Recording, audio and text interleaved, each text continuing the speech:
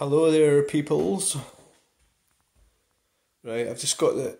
This is the, uh, the Fergiecones. Uh, I'd sort of forgot about them, so I thought I'd get them out.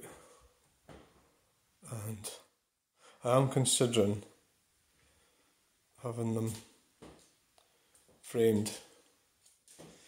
Um, I did have. I was kind of thinking about putting them up. Uh, for the, at the very least at the start. Uh, up in that wall. Oh, which hmm, that wall. Yeah, they would fit. But I'd have to do a line of five of a line of four. Hmm. Cost quite a lot of money. It's about 45, 40 odd, 40 to 50 pound each to get them framed. So that would be, say it was 50 pound. One, two, three, oh my, oh dear, three, six, nine, 1200 pound. There's just something amazing about them, the way they are. Um, you know, it's a shame, but I haven't really figured out a way of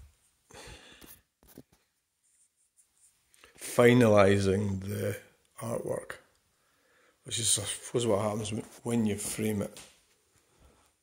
It gets, I suppose that's a way of putting it, it gets finalised. Finalised like that. Mm.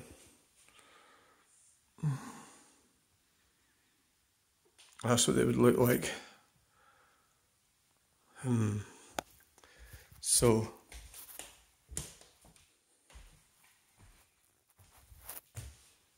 so they're going to go in that wall.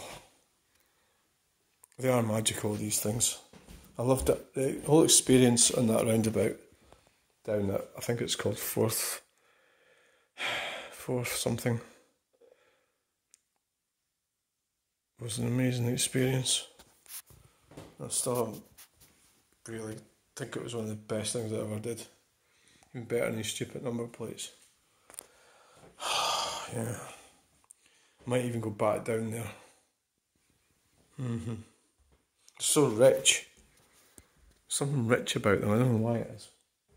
I don't even know myself how it happens. It just happens. It just kind of happens. It just happens.